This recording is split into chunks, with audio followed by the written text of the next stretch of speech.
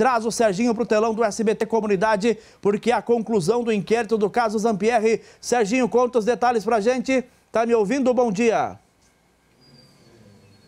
Olá, bom dia para você, meu amigo Trindade. Bom dia para você, meu amigo e minha amiga, toda a audiência do SBT Comunidade em toda a Baixada Cuiabana. Estamos aqui na DHPP com o doutor Nilson Farias, que vai passar mais informações da conclusão do inquérito que é hoje, Trindade, da morte do advogado Roberto Zampierre. Doutor, conclui hoje o inquérito que a polícia tem aí de elementos contra essas pessoas que são acusadas da morte do advogado. Sim, foi concluído e foi indiciado o senhor Aníbal pela morte de, pelo mando da morte de Roberto Zampieri, foi enquadrado em homicídio qualificado pela paga ou promessa de recompensa e pela traição de emboscada.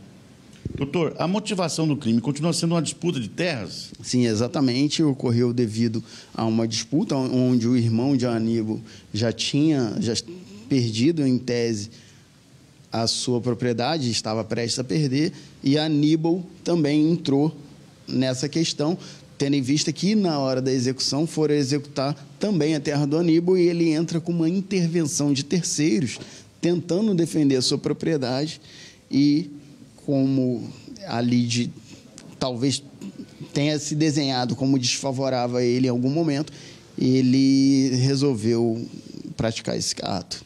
A defesa alega que Aníbal e Eunice são frágeis as provas, mas a Polícia Civil tem provas robustas, né, doutor? Em relação a, a Helenice, ela não foi indiciada, né? Não, não indiciei ela, porque eu entendi que com os elementos de prova angariados até o presente momento, não tinha elementos para tanto.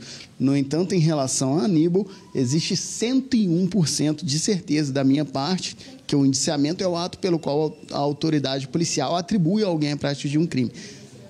Pela, pelos elementos de prova coligidos no inquérito, tem 101% de certeza que ele é o mandante do crime.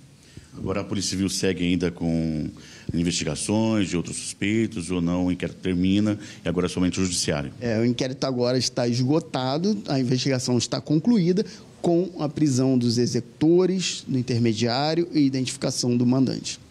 Hoje a Trindade, a conclusão termina hoje, o inquérito termina hoje e a DHPP já está aí com o inquérito concluído. São esses detalhes, essas informações. Agora o doutor falou aqui uma coletiva para a imprensa e são esses detalhes, são essas informações de hoje. Serginho, o delegado reforçou essa disputa por terras, né? É, se for possível compartilhar algumas informações, como por exemplo, algo que chama muito a atenção, quanto que o executor teria recebido para praticar o crime? Quanto que o pistoleiro cobrou para tirar uma vida? Será que o delegado tem essa informação, Serginho? Doutor, surgiu informação de quanto o executor recebeu para ter tirado a vida do, do, advogado? Na época foi 40 mil, né? Era 20 mil e depois, posteriormente, seria mais 20 mil. A disputa em Paranatinga? Isso, até a fazenda em Paranatinga. Pois é, Trindade, ele teria recebido aí 40 mil reais pela execução do advogado. Serginho, muito obrigado pelas informações. São 10 horas e 29 minutos. Nós estamos com imagens ao vivo desse caso do, de dezembro do ano passado, extremamente complexo, uma investigação importante da Polícia Civil. O executor, Serginho, o pistoleiro, o assassino, ele foi preso em Minas Gerais, né? Sim, ele foi preso em Minas Gerais, tá? E a polícia investigou outros suspeitos também desse crime, Trindade, que Alguns deles foram retirados desse inquérito porque a polícia é, concluiu que não teve provas contra outros envolvidos nesse caso. Muito obrigado, Sérgio. Agradeça também, por gentileza, o delegado por conversar com a nossa equipe, falando ao vivo dessa, dessa conclusão desse inquérito extremamente importante, extremamente importante. E mais um trabalho da DHPP concluído com sucesso.